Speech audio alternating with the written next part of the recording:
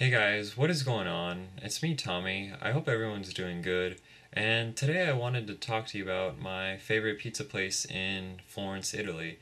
And actually, my favorite pizza that I've ever had. Um, as most of you guys know, I went to Italy on a study abroad for seven weeks this past summer. And during my time there, I was able to have a lot of pizza throughout Italy. And I tried my best to go to all the uh, really popular pizza places in Florence, but I can only do so much. Um, anyways, I found this place online when I was before I left, and I was searching for best pizza places, and this came up, and it's called Il Pizzaiuolo.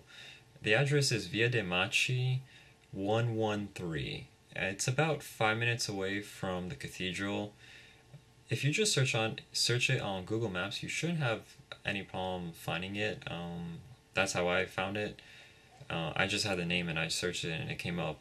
But anyways, if you do travel to Florence, uh, there's several really really great pizza places. Uh, I did a good job in going to most, but another name you'll hear a lot is Gusta, and Gusta is really really great. Um, it's my second favorite pizza place.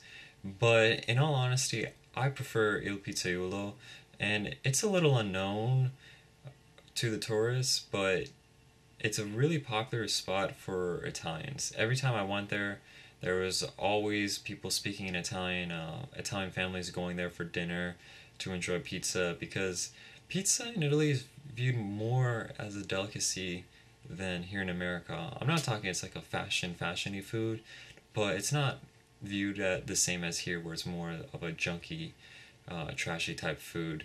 So, and in Gusta, there was always uh, a bunch of uh, people trying to go there. And I will admit, I was in a high tourism season, so uh, I'm curious to see how it is during the regular year.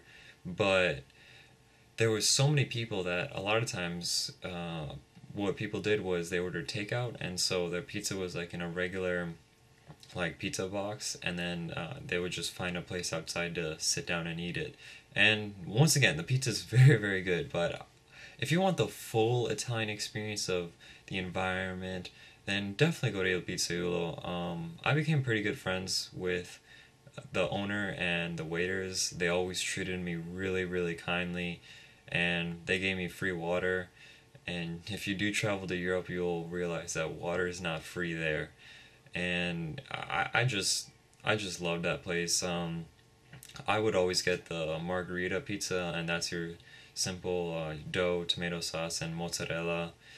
But they served several types of pizzas, and I believe it was five euros for a margherita pizza. And margherita is cheese pizza. They don't call it cheese pizza there. That they call it margherita uh, for those of you who haven't been to Italy. And um, I promise you, if you do go to that uh, pizza place, you will not be um, disappointed. You will be really, really impressed by the amount of food you receive because um, they serve uh, um, fairly big personal uh, pizza pies. Um, I ate a lot and I would always order one and I, I would always be full.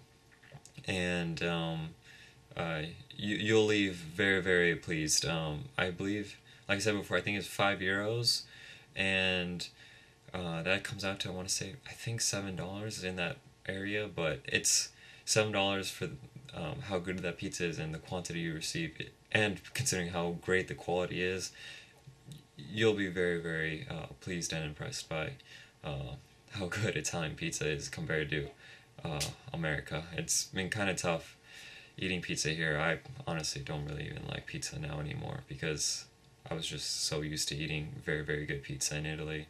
But, anyways, um, if you do go to Florence, those two pizza places, I definitely recommend you visiting. They're very, very good. Uh, you can't go wrong going with either. I just my my favorite is is Il Pizzaiuolo. Um, but anyways, uh, I hope this video helped you guys, and if you haven't ever been to Italy or or planned to go there, definitely go there. It's an absolutely wonderful country. I loved it and I'm trying to go back. Um, thank you so much for watching this video and have a wonderful day. Keep it real.